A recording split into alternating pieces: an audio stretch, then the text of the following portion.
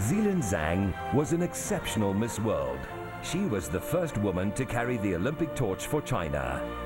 Her reign as Miss World began with a worldwide fundraising tour. Her visit to Vietnam, which will host the 2010 Miss World final, saw Zilin present 10,000 homes to the homeless, as well as delivering much needed food supplies.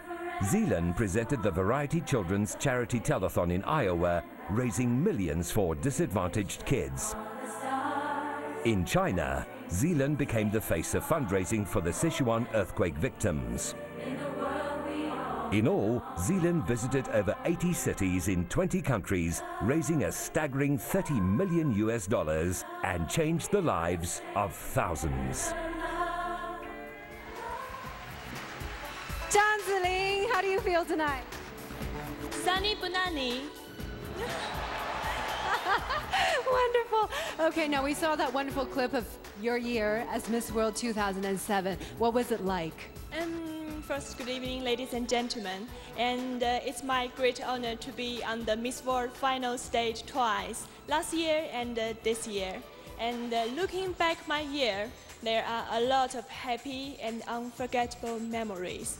You know, during this year, I have a lot of traveling. I have been to many, many countries and many, many um, cities. So for myself, I think the beauty with a purpose is the most important thing for me. And I have done a lot of charity work.